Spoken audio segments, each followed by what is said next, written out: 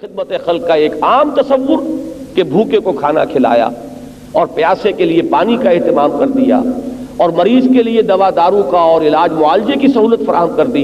ये तो सबको मालूम है। लेकिन खिदमत खल का ये दूसरा दर्जा जो है सिर्फ़ उसी के सामने आएगा कि जिसकी आँखें खुल गई हों, जो वाकता आखिरत पर यकीन रखता हो। अब उसके एतबार से यकीनन, अब ये जो खिदमत खल का मरहला है, वो पहले से भी कहीं ज़्यादा अहम पर हो जाएगा। आप सोचिए, खुद गौर कीजिए मनतकी तौर पर। किसी शख्स के पेट में भूख की वजह से जो आग लगी हुई है, वो तो आपने बुझा दी, उसे खाना खिला दिया। प्यास की आग थी, पानी पिला दिया।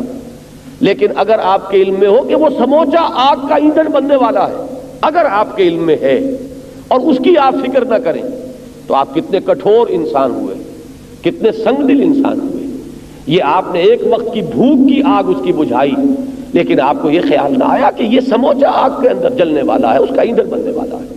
तो फिर अगर किसी इंसान के दिल में अपनाए नौ के लिए हमदर्दी है, मोहब्बत है, खलूस है, इखलास है, खैर खाही का जज्बा है तो यह मुमकिन नहीं है कि वो अपनी तोानाइयाँ अपनी खुद गर्जी के लिए सर्व कर रहा हो, अपने लिए दौलत जमा करने पर सर्व कर रहा हो, अपने लिए बिल्डिंगों पर बिल्डिंगें तामीर करने पर सर्व कर रहा हो।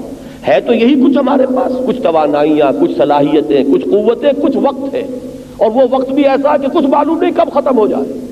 कब मौत का बुलावा आ जाए और हमारी ये मोहलत उम्र खत्म हो जाए।